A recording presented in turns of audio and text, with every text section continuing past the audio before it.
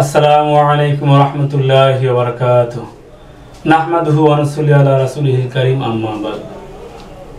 Dear friends আশা করি প্রত্যেকেই ভালো আছেন। আজকে আমি আপনাদের সামনে যে ভিডিওটি নিয়ে হাজির হয়েছি, তা অত্যন্ত গুরুত্বপূর্ণ। অনেক ভাই সরাসরি কল করে পাইলসের ব্যাপারে জানতে চেয়েছেন, যেটা সাধারণত বাংলায় আমরা অশ্ব রোগ হিসেবে চিনি বা জানি। তো বন্ধুরা ভিডিও লম্বা হয়ে যাবে। এই জন্য কোনো অতিরিক্ত কথা না বাড়িয়ে মূল আলোচনায় ফিরে আসছি। যে অর্শ রোগটা কি বা পাইলস কি?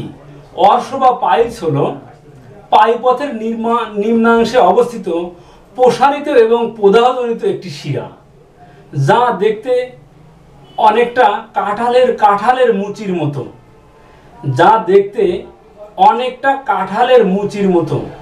কোদ দিলে অনেক সময় এটি মলদ্বারের বাহিরে চলে আসে। আবার মলদ্বারের অনেক সময় অভ্যন্তরে থেকে যায়। শতকরা নব্বই ভাগ মানুষের এই পাইলস হয় কোষ্ঠকাঠিন্যর কারণে এবং অন্যান্য অনেকগুলো কারণেও হয়ে থাকে। যেমন দীর্ঘমেয়াদী কোষ্ঠকাঠিন্য বা দীর্ঘমেয়াদী পাতলা পায়খানার কারণে হয়ে থাকে, বংশগত কারণে হয়ে থাকে। সেই সাথে হাইপার টেনশন থাকলেও সাধারণত মলদারের শিরাগুলো ফুলে গিয়ে পাইলস হয়ে থাকে। ভারী দ্রব্য, ভারী বোঝা, অধিক ওঠানামা করার ফলে সাধারণত পাইলস হয়ে থাকে।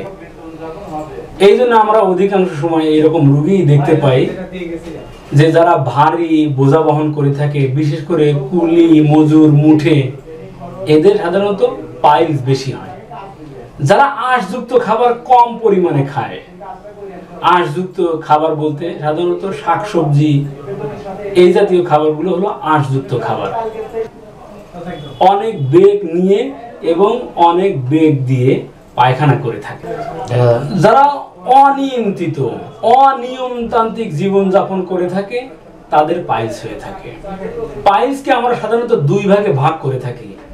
একটি হলো এক্সটার্নাল আর একটি হচ্ছে ইন্টারনাল তো আমরা এই এক্সটার্নাল এবং ইন্টারনাল ইন্টারনাল পাইলস নিয়ে আমরা অন্য ভিডিওতে আলোচনা করব।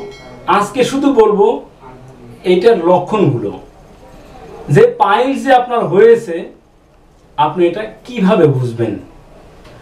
সাধারণত যাদের পাইলস হয়ে থাকে, তাদের মলদার ব্যথা করে।